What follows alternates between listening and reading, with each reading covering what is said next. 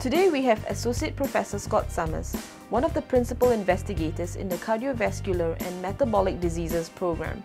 The Cardiovascular and Metabolic Diseases program is one of the five signature research programs here at Duke NUS. The Cardiovascular and Metabolic Disease program at Duke NUS is, is aiming to deal with diseases often associated with obesity, like um, heart disease, atherosclerosis, and diabetes. As you know, the obesity problem worldwide is, is, is, huge, and, and people are becoming obese at a, rapid, alarmingly rapid rate. Uh, the fact that Americans uh, have becoming such so obese has, has, received a lot of attention in the popular press. What's less well understood or, or, less well known is that it's a big problem in Asia as well, not just obesity rates, but actually the complications of, of, of uh, associated with obesity. So, for example, even though obesity rates are one fifth uh, it's one fifth as prevalent here as it is in, uh, in the United States.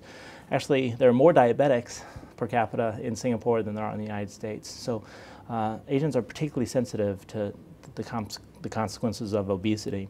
Currently, we have four laboratories in the program that are dedicated to studying various aspects of cardiovascular, metabolic, and metabolic disease, and all of us have the aim of improving metabolic health.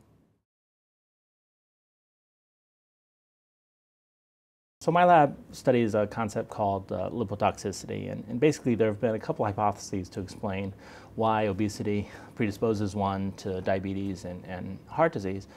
And, and one of the relatively simple ones is that fat cells simply become full, and fat starts to spill out into tissues where it doesn't belong. And, and we started uh, um, studying the hypothesis that it would give rise to toxic byproducts of fat or toxic fat metabolites that would do tissue damage. And a number of years ago, we stumbled upon an observation that that a particular fat molecule termed ceramide seemed to cause a lot of the pathogenic consequences associated with obesity. And subsequently found that if we actually block production of ceramide, we can prevent in rodents the development of diabetes, heart disease, atherosclerosis, and hepatic steatosis. So uh, this has become a real focus in our lab is figuring out more about this molecule ceramide.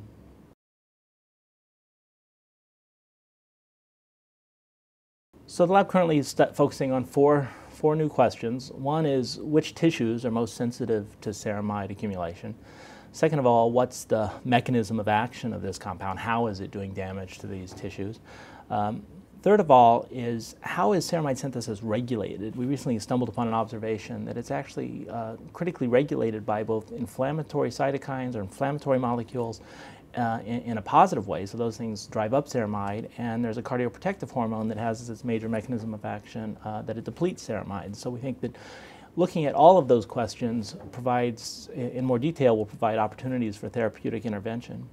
The final thing that we're trying to do is see if we can actually use this as an approach in the clinic. So we're initiating collaborations with uh, uh, Yisheng Tai, a clinician at, at, in U.S., and, and starting to do uh, clinical trials to see if this is really an effective therapeutic strategy that might work in people.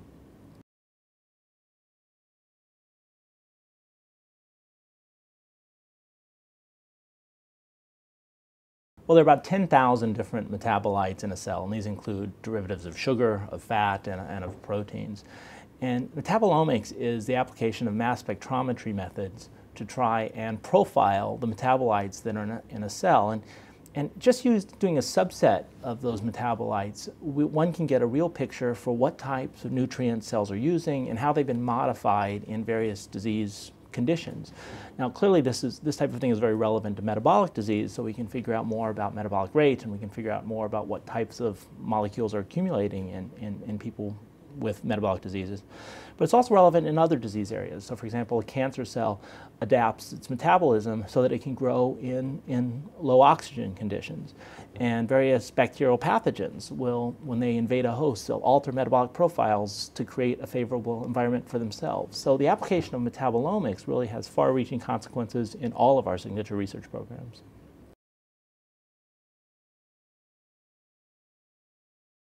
We have about 12 people. I have two laboratories. I keep one at uh, Duke University in Durham in the United States, and then, and then our, we have a, a much larger program here in, in Singapore. We have about 12 students, uh, our 12 people working in the lab. That includes some students, uh, a few technicians, and, and a large number of postdocs.